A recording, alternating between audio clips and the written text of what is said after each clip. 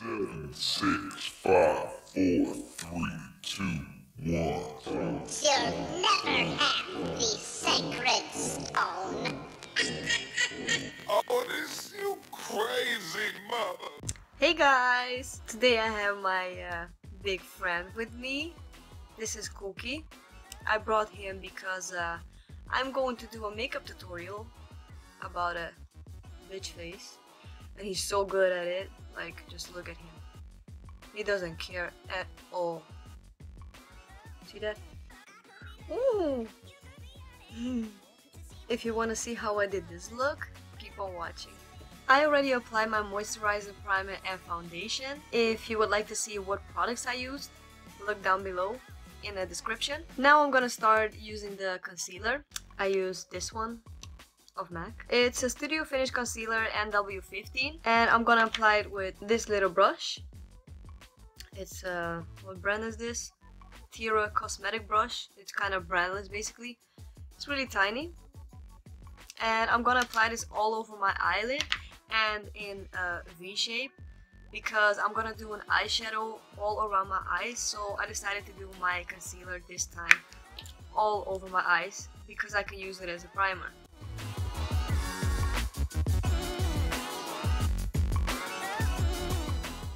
It doesn't have to be perfect because you're gonna blend it anyway.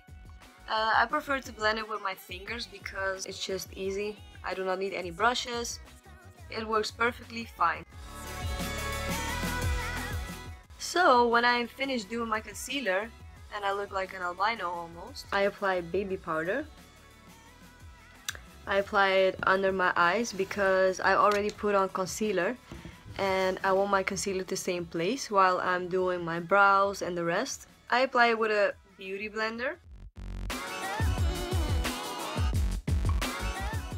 Since down here everything is under construction, I'm gonna start doing my eyes up here. I'm gonna start with the eyeshadow. I'm gonna use Booty Call.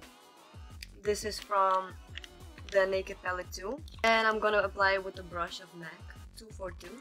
I'm gonna apply this color right below my eyebrow. After I've done this part of my eye and it's shimmery, I start applying the Dipbrow Pomade on my eyebrows from Anastasia Beverly Hills in the color taupe because it's still baking here so I'm trying to work up here. I'm using this brush also of uh, Anastasia Beverly Hills, it's number 7. So I start applying the pomade down here to make a bow and at some point I start doing it above. And after that I start filling it in slowly. So I suggest you should take tiny amounts of product so you don't have too much or you have different spots and try to keep it calming in between if you have a little brush. So you can spread it evenly.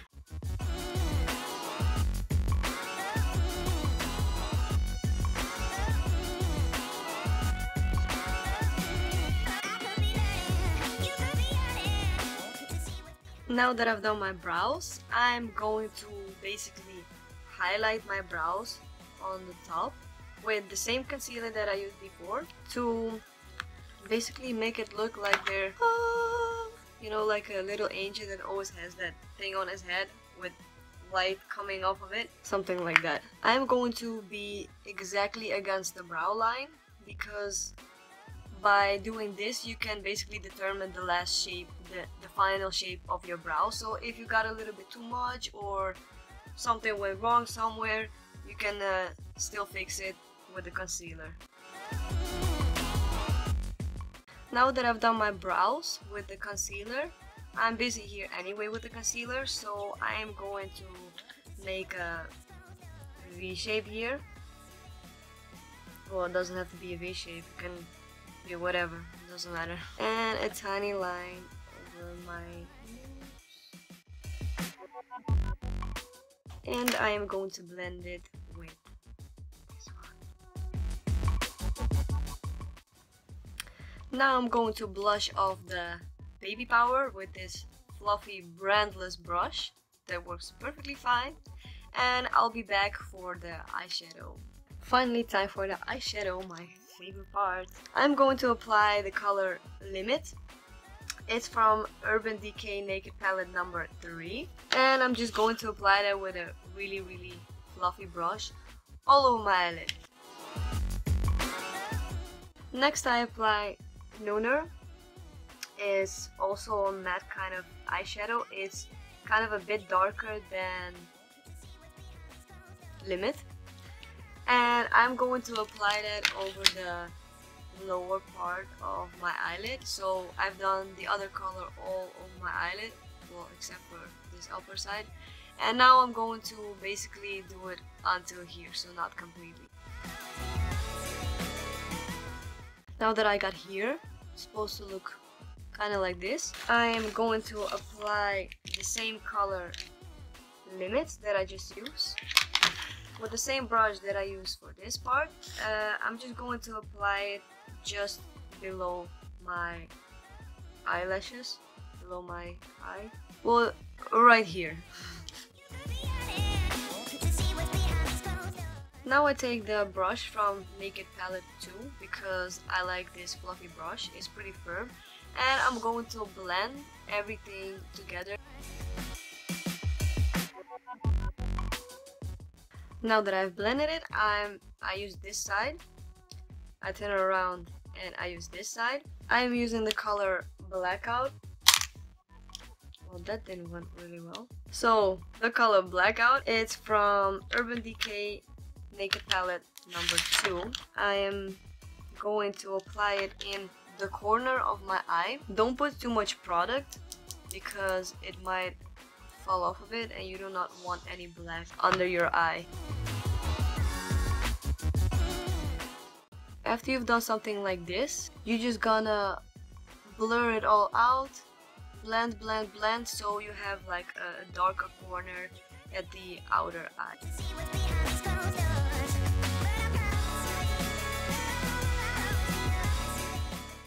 I applied two layers since it's a bitch look. I wanted to make it more intense so that's why I put a second layer over it. So the next thing I'm gonna do, I'm using my Wonder Pencil of NYX. It's not a white pencil, it's like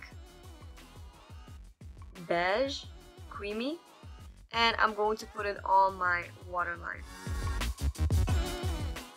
As you can see, my eyes look uh, bigger because I put a light tone of pencil of color on the inner eye. And now I'm going to apply a little bit of eyeshadow right over here to make it look even more fabulous. I'm using this one of Jade. It's the palette Beige Glam. I bought it in Russia and I love this one because it is really pigmented. It's shining. It's awesome. I'm going to apply this color with this brush that I used before. Now that I'm done with the eyeshadow, I'm moving on to my face, my skin. I'm using the MAC Nude On Board Pro Longwear Bronzing Powder. I'm going to use it right over here to contour a little bit. It's a fabulous color and I believe it's a limited edition from MAC. So I'm applying this with my L'Oreal brush. Highlighter time! I use the one of MAC, Soft and Gentle. I'm using this little brush and I'm going to apply it right here. And of course a little bit on my nose and a little bit above my lips.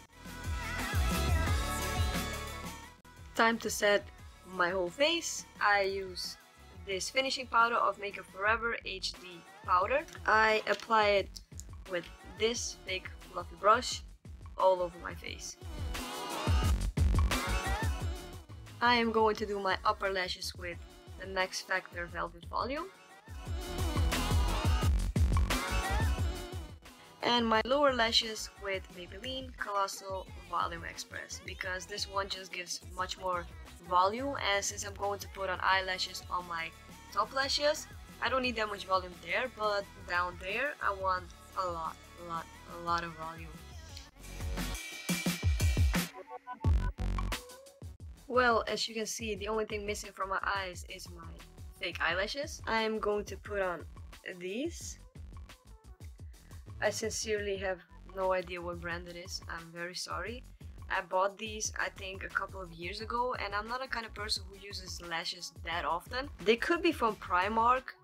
I sincerely don't really know. But I will put them on my eyes and I'll be right back. Now that I've applied my eyelashes and this one is acting weird but I have no idea what's happening with it. Maybe it's the cheap lashes. Maybe it's my scar that I have here, which is why my eyes are never completely even. One is more open than the other one, but that doesn't matter. I just applied prep and prime for my lips because it's lip time. Now I'm going to use the lip pencil Soar of MAC.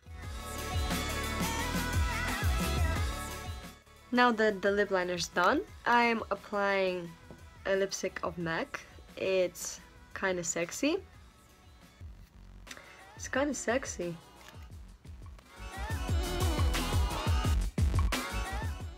Almost done with the lips. I'm applying this on top of it. This is of Chanel. This is number 151. I do not think they sell it anywhere anymore because I bought it a pretty long time ago and it has a name that I cannot really pronounce. Lèvres Scintillantes.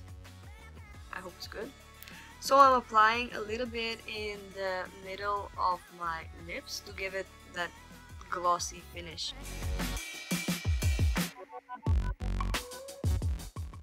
So guys, this was my bitch face look. I hope you enjoyed me creating this look. Well, at least I did. Just watch out for the eyebrow that it doesn't get too much, you know, like Well, I uh, hope you have a nice day and I see you another time.